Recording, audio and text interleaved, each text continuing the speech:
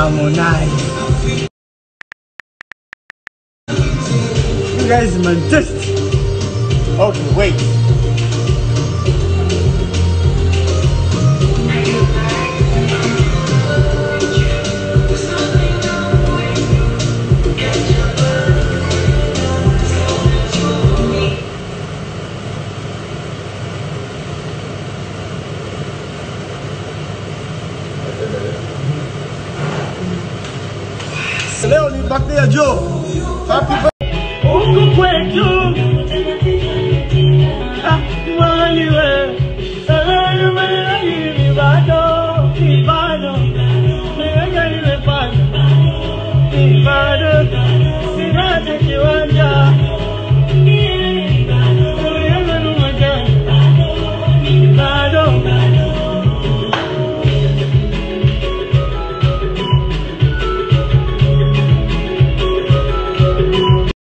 Stori wa leo ni Alikiba kucheza ngoma za WCB.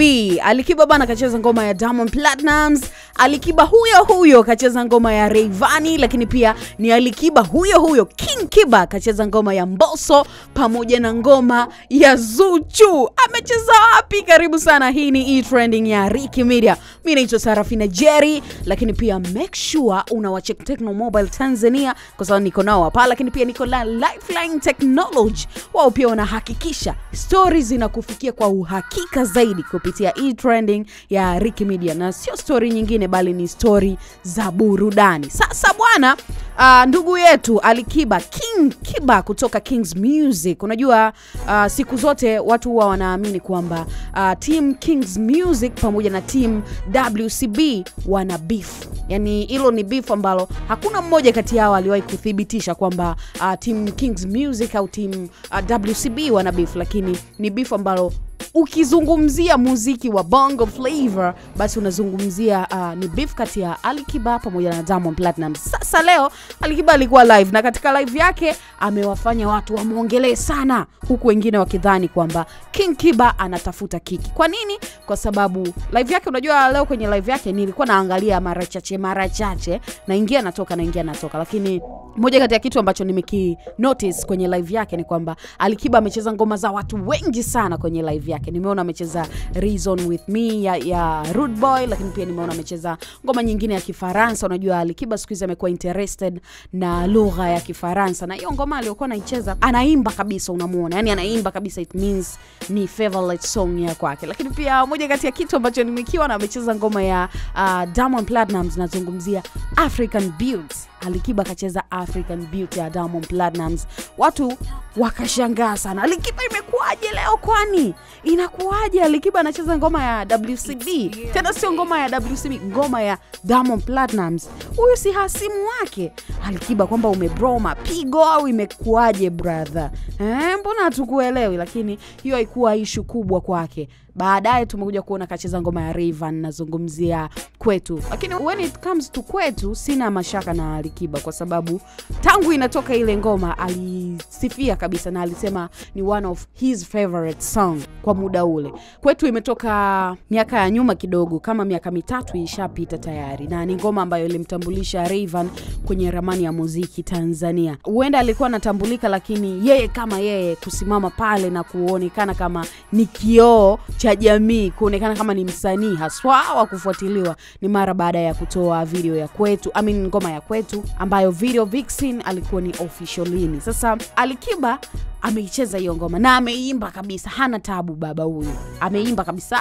Ngoma ya kwetu anasikiliza anaimba na nini lakini baadaye amekuja kucheza nadekezwa ya mboso na ngoma ya mboso ukimwona sura yake anavyoimba unaona kabisa ana enjoy muziki mzuri. Unajua mboso na alikiba muziki wao wa hisia sana. Sasa naona alikiba naye pia amepata hisia kali kwenye ngoma ya mboso na anakwambia kabisa vesi ya pili ni vesi yake ambayo anaifil nadekezwa kumbuka hii ni ngoma ya msanii kutoka wcb so maneno yamekuwa ni mengi sana huko instagram lakini pia pale pale kwenye live yake comments zilikuwa ni nyingi. Oh unatafuta kiki. Oh wengine wanasema kiba huna noma na mtu. Oh lakini mimi namjua alikiba anapenda muziki mzuri na ni chizi muziki. We all know kwamba alikiba ni chizi muziki. When it comes to music the man anaenjoy sana muziki mzuri. So kucheza ngoma za wcb mi kwangu sijaichukulia kama negative thing lakini nimechukulia kama ni mtu ambaye anapenda muziki. Japo kibiashara wengine wanaweza wakakwambia kwamba haijakaa sawa. Na hizo sio ngoma pekee alizocheza amecheza ngoma ya zuchu pia sukari. Unajua sukari ina challenge yake ile unalamba namna hii namna hii. Baba yule anacheza. Tena anaijua mpaka challenge yake. Kwa hiyo ni mambo ambayo anakutana nayo na anayajua. Yeye pia ameshindwa kuficha feeling zake kuhusiana na muziki mzuri. Kwa hiyo african beauty pia ukiisikiliza ni ngoma ambayo ni nzuri sana na ni moja kati ya ngoma ambayo ina bit kali kutoka kwenye ngoma za diamond platinums lakini pia ni kolabo kubwa kwa sababu ni african beauty ni diamond platinums featuring omarion msanii wa marekani huyu. Biti imepigwa na chris beat kutoka nigeria. Kwa hiyo utaona ni jinsi gani ambavyo muziki mzuri una attract watu wote ambao wana sikio la muziki mzuri na sio sikio tu wanapenda muziki mzuri. Alikiba ni moja kati ya watu ambao wanafanya muziki mzuri wanaujua muziki mzuri wanaupenda muziki mzuri na wanasikiliza muziki mzuri. Sio kusikiliza muziki mzuri tu wanaenjoy muziki mzuri.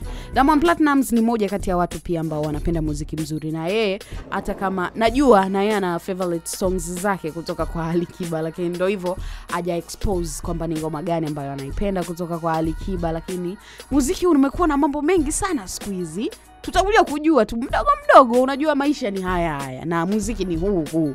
Kwao bado tunazunguka humuhumu uh, instagram bado ipo haijafungwa. Kwao tutakuja kushuhudia mengi.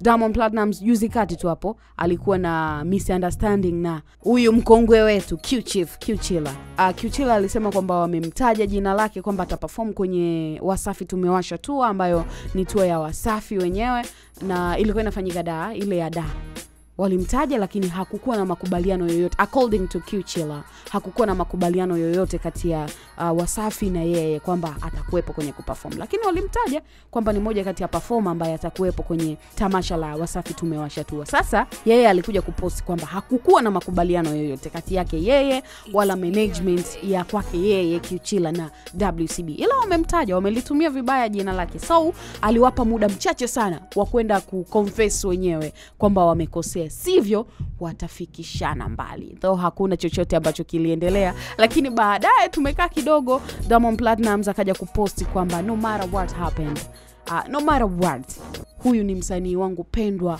wa muda wote. Yani yeye ana confess kwamba ana mapenzi ya dhati na muziki wa uh, Qchilla lakini pia kiuchila ni mmoja kati ya wasanii wake pendwa wa muda wote. Na anaenjoy kabisa anaitazama video ya siuliniza wewe ukanikataa yo ana, sijui kama nimeimba vizuri kwa sababu mi sio mwimbaji lakini Diamond Platnumz alikuwa anaonyesha kabisa kuenjoy ule muziki na sio juzi tu ndo amesema kwamba Kiuchila ndo msanii wake pendwa lakini back in those days aliwahi kusema kwenye Diamond Are Forever aliwahi kusema kabisa kwamba mimi nakuwa nilikuwa namtazama Kiuchila na ni msanii wangu pendwa namwangalia kama role model na vitu kaa hizo. Though unaweza ukaona hawa ma legend kwa namna moja ama nyingine hawajatenda haki kwenye muziki wao na nini kwa sababu sababu mifumo haikuwa mizuri back in those days lakini ni watu ambao wamepigana kuifikisha bongo flavor hapa na ni watu ambao bado tunatambua mchango wao. So Diamond Platnumz aliweka wazi kwamba Qchila